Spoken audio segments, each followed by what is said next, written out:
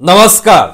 BMC चुनाव आने के पहले उद्धव शिवसेना, शरद पवार और कांग्रेस की हालत बहुत ही ज़्यादा खराब है और यह हालत इस कदर खराब हो चुकी है कि वह आने वाले चुनाव में पूरी तरीके से हारने वाले हैं। दोस्तों, आज आपको इस वीडियो में बताने वाला हूँ कि कैसे शरद पवार को सारे पार्टी विधायक बहुत दिनों के रिश्ते जो तार तार हो रहे हैं, टूट रहे हैं और शरद पवार कुछ कर नहीं पा रहे हैं। आने वाले समय में राजनीति हलचल में यही चीज़ निकल करके सामने आ रही है कि शरद पवार पूरी तरीके से चकनाचूर होने वाले हैं। उद्धव ठाकरे को जिस तरीके से भरोसा है प्रकाश अंबेडकर के ऊपर, उनके रिश्तों में दरार आ चुकी है। कांग्रेस धोखा दे रही है। शरद पवार को यह भी आप जानते हैं। आपको यह बता दें कि कांग्रेस शिंदे गुट में भी शामिल हो रही है। आने वाले कुछ दिनों में 20 से 22 विधायक शिंदे गुट में शामिल होने वाले हैं। तो अब जानिए कि एक बड़ा झटका एनसीपी को लगा है और शिंदे गुट बहुत ही अग्रसर है चुनावी दौरे को लेकर के। और इस चुनावी दौरे में पूरी तरीके से पीछे हो गई है हारती हुई जा रही है शरद पवार। दोस्तों, आपको बताएँ कि थाने में एनसीपी को बड़ा झटका लगा है। थाने के वरिष्ठ एनसीपी नेता और पूर्व नगर सेवक हनुमंत जगदाले ने एनसीपी छोड़ दी है और शिंदे गुट में शामिल हो गए हैं।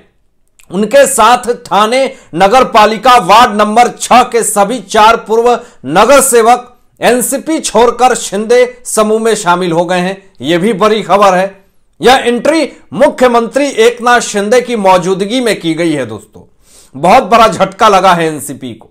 दिलचस्प बात यह है कि सिवई नगर के दिवंगत पूर्व नगर सेवक सुधारक चौहान की पत्नी सुलोचना चौहान भी शिंदे समूह में शामिल हो गई हैं। इस मौके पर हनुमंत जगदाले ने थाने के लोकमान्य नगर में दमदार प्रदर्शन किया। दोस्तों, बड़ी खबर बताएँ कि यह एंट्री सेरेमनी आज शाम छह बजे थाने के लक्ष्मी पार्क सर्विस रोड में हुए कार्यक्रम में हुई है और पूर्व पार्षदों के शिंदे समूह में शामिल होने से माना जा रहा है कि थाने में एनसीपी को आगामी चुनावों के मद्देनजर बड़ा झटका लगा है। अब आपको बताएँ कि हनुमंत जगदाले विधायक जितेंद्र अवार्ड के कट्टर समर्थक माने जाते हैं। इसलिए उनका शिंदे गुट में शामिल होना एनसीपी के लिए बड़ा झटका माना जा रहा है। दोस्तों, अब बड़ा मामला यह आ चुका है कि एनसीपी के विधायक शिंदे गुट में शामिल तो हो रहे हैं, लेकिन अब एनसीपी के विधायक कांग्रेस में जाकर के शामिल हो रहे हैं। यह अपने आप में बहुत बड़ी बात है और बहुत बड़ा झटका है एनसीपी को इससे कहीं ना कहीं एनसीपी को ऐसा झटका लगा है जिससे शरद पवार तिल मिला गए हैं। शरद पवार को ही बार बार झटका लग रहा है। शरद पवार की स्थिति बिल्कुल ऐसी हो चुकी है कि सामने कुआँ है। प्यास भी उनको लगी है, लेकिन वह पानी नहीं पी सकते हैं और ना कुआँ के पास जा सकते हैं। मतलब साफ़ है। मतलब अपनी इज़्ज़त भी देखनी है, राजनीति भी इनको बचाना है, लेकिन इनके विधायक इनको छोड़ करके जा रहे हैं। तो स्थिति बहुत ही ज़्यादा गंभीर होती हुई जा रही है दोस्तों। शरद पवार की और तनाव जो है, वो बढ़ता ही जा रहा है। क्योंकि राजनीति का समय जो है, वह तो बढ़ता ही जा रहा है। बीएमसी चुनाव 2024 के चुनाव हैं और दोनों चुनाव सिर पे है और ऐसी स्थिति में कैसे शरद पवार अपने आप को साबित कर पाएँगे कि एक अच्छा राजनीतिक विशेषज्ञ, संकट मोचन इनसे हर लोग सलाह लेने आते हैं। लेकिन आज इनका खुद राजनीति करियर पूरी तरीके से चौपट है, संकट में है तो वो अपनी तो सुरक्षा कर नहीं पा रहे हैं, दूसरे की सुरक्षा क्या करेंगे? एक तरफ़ थाने में एनसीपी का बड़ा गैप है दोस्तों। पिछले कुछ दिनों में एनसीपी से शिवसेना के सिंधे गुट के कई नगर सेवक अजी पूर्व नगर सेवक मुख्यमंत्री एकनाथ शिंदे के शिंदे गुट में शामिल हो गए हैं। यह भी बड़ी खबर। ऐसे में महाविकास आघाड़ी में अब एकजुट हुई कांग्रेस ने एनसीपी को झटका दे दिया है। एनसीपी के कई नेता और पदाधिकारी कांग्रेस में शामिल हो गए हैं। बहुत बड़ा झटका है दोस्तों, ये एनसीपी को। पुणे ज़िले के कई एनसीपी कार्यकर्ता कांग्रेस में शामिल हो गए हैं। ये अभी अभी तगड़ा झटका मिला एनसीपी को। विधायक संग्राम थोपे के नेतृत्व में कई कार्यकर्ताओं ने कांग्रेस में शामिल होकर एनसीपी को बड़ा झटका दिया है। आपको यह भी मैं बताता चलूँ कि आगामी चुनावों की पृष्ठभूमि में शुरू हुआ लीक एनसीपी के लिए बड़ा झटका माना जा रहा है। इससे यह देखा जाएगा कि आगामी जिला परिषद पंचायत समिति चुनाव में कांग्रेस की ताकत में इजाफा हुआ है।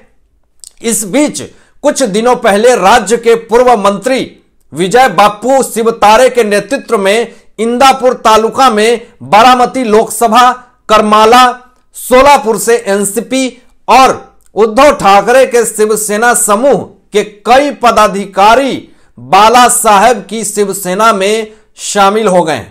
लेकिन दोस्तों, यहाँ पे आपको बताएँ कि अब पुणे के भोर तालुका के भावे खाल में आयोजित कार्यक्रम के दौरान विधायक संग्राम थोपटे सहित दादी पूर्व सरपंच, उप सरपंच, ग्राम पंचायत सदस्य और अन्य कार्यकर्ताओं सहित 91 लोग, दोस्तों, बड़ी खबर 91 लोग कांग्रेस में शामिल हो गए। प्रवेश करने वालों में अधिकांश जो बताए जा रहे हैं वो एनसीपी कार्यकर्ता हैं, जो आरोप लगा हुआ है शरद पवार के ऊपर कि उद्धव की शिवसेना को खत्म करने का पूरा जो दायित्व है, वह शरद पवार को ही दिया हुआ था। अंदर ही अंदर शरद पवार उद्धव ठाकरे की शिवसेना को खत्म कर रहे थे। यह बड़ा आरोप लगा हुआ था दोस्तों शरद पवार के ऊपर। आपको यह भी कहें कि कहते हैं कि कर बुरा तो हो बुरा और कर भला तो हो भला। अगर शरद पवार ऐसा चाहते थे या ऐसा उन्होंने करने की कोशिश की थी तो उद्धव ठाकरे की शिवसेना तो खत्म हुई, तबाह हुई, पार्टी बदल गई यह धनुष भी चुनाव आयोग और सुप्रीम कोर्ट में चला गया। लेकिन दोस्तों, उद्धव ठाकरे की स्थिति, मनस्थिति, परिस्थिति दोनों खराब हो गई। लेकिन अब सवाल यह खड़ा होता है कि जो आरोप लगा हुआ था शरद पवार के ऊपर कि इन्होंने उद्धव की शिवसेना को खत्म कर दिया है। मुंबई के मुख्यमंत्री के पद से इस्तीफा दिलवाया है उद्धव ठाकरे को तो शरद पवार भी। चैन से तो नहीं है, ये भी बेचैन ही है। शरद पवार के भी सारे कार्यकर्ता, विधायक, पार्षद, सांसद, सब शिंदे गुट में शामिल हो रहे हैं। नहीं तो कांग्रेस में शामिल हो रहे हैं। तो वह भी संतुष्टि से नहीं है, वह भी खुश नहीं है। और उनके विधायक भी आप लोगों को पता होगा कि जेल के सलाखों के पीछे जाने के लिए तैयार हैं। इन्फोर्समेंट डायरेक्टरेट कार्रवाई कर रही है धोखाधड़ी मामले में मनी लॉन्ड्रिंग मामले में। तो शरद पवार की भी हार निश्चित है। जिस तरीके की उनकी हरकत है, आने वाले समय में उनकी स्थिति और भी ज़्यादा खराब होती हुई जा रही है।